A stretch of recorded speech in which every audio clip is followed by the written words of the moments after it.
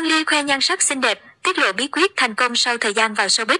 Dù bận rộn với công việc, song Hương Ly cho biết vẫn dành thời gian cho tổ ấm nhỏ. Nhắc đến những nghệ sĩ nổi tiếng từ cover không thể không nhắc đến Hương Ly. Sau khi được khán giả biết đến nhiều bằng loạt clip cover chục triệu view vào năm 2019, Hương Ly vẫn thường xuyên ra nhạc, đạt thành tích cao. Bên cạnh đó, Hương Ly cũng dành nhiều thời gian cho tổ ấm nhỏ. Mới đây, Hương Ly đã bất ngờ khiến dân tình trầm trồ khi khoe nhan sắc không tì vết, ngày một lên hương. Bên cạnh đó Hương Ly cũng chia sẻ bí quyết giữ lửa gia đình bên cạnh con đường phát triển sự nghiệp. Nói về gia đình, Hương Ly dành tình cảm đặc biệt, tự hào khẳng định chính chồng và hai con là cảm hứng, điểm tựa vững chắc nhất khi cô làm nghệ thuật. Vừa toàn tâm toàn ý xây dựng gia đình nhưng vừa theo đuổi âm nhạc, Hương Ly sắp xếp hợp lý thời gian, cân bằng khối lượng công việc và quan trọng nhất là được gia đình, chồng yêu thương ủng hộ. Thời gian qua, Hương Ly vừa chăm con vẫn ra nhạc, cô cân bằng công việc bằng cách hạn chế nhận sâu diễn ở xa cũng như ít hoạt động trên mạng xã hội. Hương Ly cho rằng cô cảm thấy biết ơn vì hiểu được đạt được thành công hiện tại hoàn toàn nhờ mọi người yêu thương. Giữa gia đình và sự nghiệp, rất khó để Hương Ly chọn một trong hai. Cô kể về thứ tự ưu tiên, rất khó để nói là bên nào quan trọng hơn với tôi. Phải tính vào thời điểm, như lúc tôi sinh viên hay mới lập gia đình, tôi sẽ tập trung toàn bộ vào tổ ấm. Hiện tại, khi Ly đã được mọi người biết tới và gia đình đã ổn định, là hậu phương vững chắc thì đây là lúc mà tôi tập trung cho sự nghiệp hơn một chút. Hai con trai là điều khiến Hương Ly tự hào nhất. Cô và chồng dành thời gian để quan tâm và mọi thứ tốt đẹp cho con, để con phát triển tự nhiên, sẽ ủng hộ nếu con muốn theo đuổi nghệ thuật. Hương Ly chia sẻ về bí quyết nuôi dạy con, quan điểm nuôi dạy con của Ly. Thứ nhất việc học là niềm vui, không tạo áp lực. Cái thứ hai là với mỗi công việc con hoàn thành sẽ được thưởng xứng đáng dù là những cái nhỏ thôi. Thứ ba, dạy con tiết kiệm từ nhỏ. Vợ chồng tôi cũng đi lên từ khó khăn cho nên rất hiểu mình không được phung phí. Thứ tư, tìm được thế mạnh của con là gì, thích môn gì để cho con thoải mái nhất, không ép con làm cái này cái kia. Quan trọng là cần chia sẻ với con sau mỗi ngày đi học về. Chồng Ly thì mỗi tuần một lần, nhưng tôi luôn cố gắng dành thời gian rảnh buổi tối trò chuyện cùng con. Nếu hai con có đam mê nghệ thuật, vợ chồng tôi sẵn sàng ủng hộ. Showbiz hay bất kỳ đâu trong cuộc sống, ở đâu con cũng phải trải qua thử thách, Ly sẽ để con mình được trải nghiệm. Bố mẹ sẽ luôn ở bên con, Hương Ly chia sẻ thêm. Hồ Văn Cường tiếp tục gây xôn xao khi được tặng cả sắp tiền nhân dịp đặc biệt, phán Hồ Văn Cường quả thật rất chịu chi. Mới đây, trong hội nhóm FC Hồ Văn Cường, một phán của nam ca sĩ đã đăng tải bài viết khá dài chia sẻ về món quà mà người phán này gửi tặng cho Hồ Văn Cường nhân dịp sinh nhật lần thứ 20 tuổi của nam ca sĩ. Bên cạnh bài viết dài mà phán nữ này chia sẻ, cộng đồng mạng còn đặc biệt chú ý đến món quà mà tài khoản này nhắc đến. Theo đó, Hồ Văn Cường đã được người hâm mộ của mình gửi tặng một chiếc bánh sinh nhật được làm bằng tiền mặt đầy giá trị. Có thể thấy, tạo hình một chiếc bánh kem, thế nhưng xung quanh của chiếc bánh được đính kết vô số những tờ tiền mặt có giá trị. Không những thế, trên đỉnh của chiếc bánh, phán Hồ Văn Cường còn chơi lớn khi đính thêm một sấp tiền mặt xòe ra xung quanh khiến ai nấy cũng trầm trồ về độ chịu chi của phán. Hồ Văn Cường trong việc mừng tuổi nam ca sĩ, không chỉ đúng dịp sinh nhật Hồ Văn Cường mới được người hâm mộ của mình tặng những món quà giá trị như thế. Trước đó, mạng xã hội cũng không ít lần xôn xao trước hình ảnh Hồ Văn Cường nằm giữa đống hoa tiền được khán giả tặng trong đêm diễn, trên mặt nở một nụ cười rất tươi. Dõi theo Hồ Văn Cường, dễ dàng nhận thấy những bó hoa tiền là hình ảnh quá quen thuộc trong mỗi show diễn của nam ca sĩ. Không những vậy, khán giả còn thường xuyên tặng vàng cho nam ca sĩ trẻ với khối lượng khá đầm tay khiến ai cũng trố mắt. Điều này cho thấy sự yêu thương mà người hâm mộ dành cho Hồ Văn Cường là rất lớn.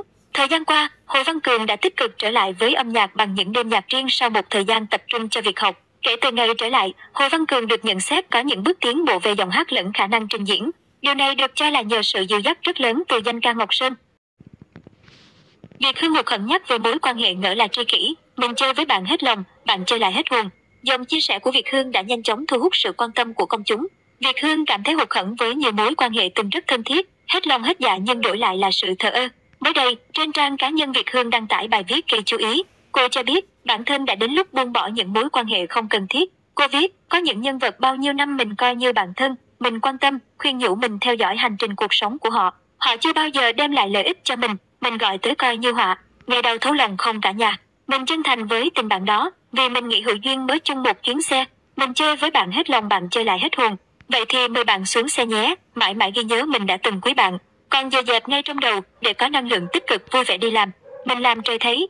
Những chia sẻ của Việt Hương đã nhanh chóng thu hút sự quan tâm của công chúng. Nhiều khán giả để lại lời khuyên cho nữ diễn viên. Trong đời ai cũng sẽ gặp vài trường hợp như thế.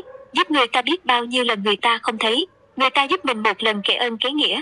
Mình sống hết mình không có gì phải suy nghĩ. Người hổ thẹn là người ta Việt Hương ạ, à, bỏ ngoài tay cho nhẹ đầu. Có những mối quan hệ gọi là nhân duyên. Có những mối quan hệ vốn dĩ là nghiệp duyên rồi cô ơi, hoan hỷ ạ. À con cũng từng vướng phải, nhưng giờ mình coi như không tồn tại để tâm mình an yên. Việt Hương đang ở đỉnh cao sự nghiệp và có cuộc hôn nhân viên mãn bên người chồng tâm lý, con gái đáng yêu thông minh khiến công chúng ngưỡng mộ. Sự kiện của Hương Giang bị hủy phút chót. Ông Nguyễn Đức Thọ, Chánh thanh tra Sở Thông tin và Truyền thông Thành phố Hồ Chí Minh, cho biết sự kiện công bố top 20 Miss International Queen phải dừng tổ chức do chưa đủ thủ tục. Chia sẻ với Tiền Phong, ông Nguyễn Đức Thọ, Chánh thanh tra Sở Thông tin và Truyền thông Thành phố Hồ Chí Minh, cho biết hồ sơ xin phép họp báo công bố top 20 cuộc thi Miss International Queen Việt Nam Hoa hậu chuyển giới Việt Nam của Hương Giang chưa đủ thủ tục nên không được chấp thuận tổ chức. Hương Giang dừng sự kiện khi được thông báo. Vì thế sở chưa xử lý, ông Nguyễn Đức Thọ nói. Đại diện ban tổ chức cuộc thi Miss International Quân cho biết công ty có đủ thủ tục về việc xin phép tổ chức sự kiện đúng quy định nên tổ chức.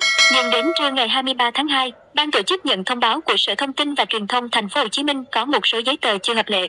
Chúng tôi chấp hành và chủ động hủy bỏ để bổ sung hồ sơ. Do nhận thông báo sát giờ diễn ra sự kiện đã công bố từ trước, ekip chưa kịp thông tin với thí sinh, khách mời và truyền thông, đại diện ban tổ chức chia sẻ. Theo thư mời truyền thông, buổi công bố top 20 Miss International Queen Việt Nam, Hoa hậu chuyển giới Việt Nam 2023 tổ chức chiều ngày 23 tháng 2. Tuy nhiên, sự kiện phải hủy 30 phút trước khi diễn ra. Khách mời và thí sinh đều phải ra về. Miss International Queen Việt Nam 2023 là mùa giải thứ ba của cuộc thi.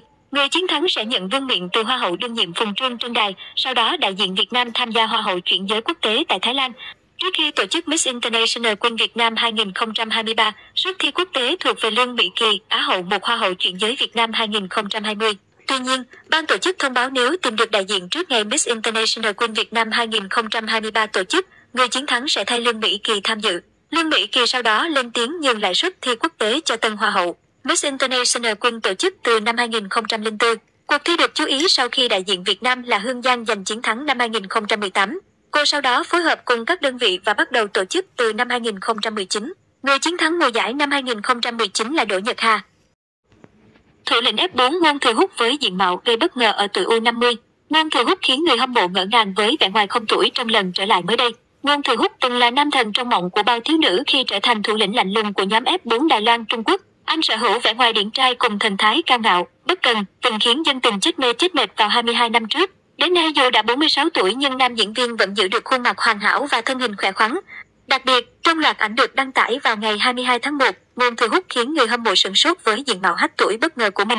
Dường như nam diễn viên vẫn là chàng thiếu gia đạo minh tự của vườn sao băng năm nào. Tuy nhiên khi rung gần, không khó để nhận ra dấu vết thời gian đã xuất hiện trên gương mặt nam diễn viên. Sau 22 năm, ngôn thừa hút vẫn trẻ trung và cực ngầu ở tuổi U50. Chẳng ai có thể tin nổi năm nay đạo minh tự của vườn sao băng đã 46 tuổi. Từng đường nét trên gương mặt thủ lĩnh F4 cũng hoàn hảo đến khó tin, từ đôi mắt sâu, chiếc mũi cao thẳng cho đến xương hàm quyến rũ.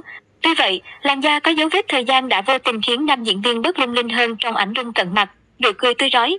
Gần đây, Ngôn Thừa Hút còn gây chú ý khi xuất hiện với vẻ ngoài điển trai và đặc biệt trẻ trung trong hào hoa. Dù hợp tác bên bạn diễn kém mình 21 tuổi nhưng khán giả vẫn không hề thấy sự khác biệt về tuổi tác giữa hai người vì Ngôn Thừa Hút quá hết tuổi. Chính điều này đã khiến dân tình bày tỏ thắc mắc, anh không già đi à? Anh Hút bị sao vậy? Hồi tôi 15 tuổi, anh như này mà giờ tôi ba mấy rồi anh vẫn vậy là sao? Chú Hút vẫn bén quá vậy, chú là yêu quái đúng không? Ngôn thừa Hút sao nhìn vẫn y như hồi trước vậy, còn tưởng phim qua lâu lắm rồi chứ hay tại sao anh không già, trẻ hoài vậy? Ngô Thừa Hút vẫn quá trẻ trung ở tuổi 46 khi đứng cạnh đàn em từ Nhược Hàm trong Hạ Hoa. Ngôn Thừa Hút sinh năm 1977, là nam ca sĩ, diễn viên nổi tiếng người Đài Loan, Trung Quốc. Sau vườn sao băng, anh cùng ba gương mặt đình đám khác là Châu Du Dân, Chu Hiếu Thiên và Ngô Kiến Hào lập thành nhóm F4 vang danh châu Á một thời. Ngoài ra, tên tuổi của Ngôn Thừa Hút còn gắn liền với loạt dự án được chú ý khác như Chỉ muốn dựa vào em, Lưu luyến không quên, Cuộc sống tươi đẹp của tôi. F4 Đài Loan từng trở thành cơn sốt trong giới trẻ châu Á vào những năm 2001.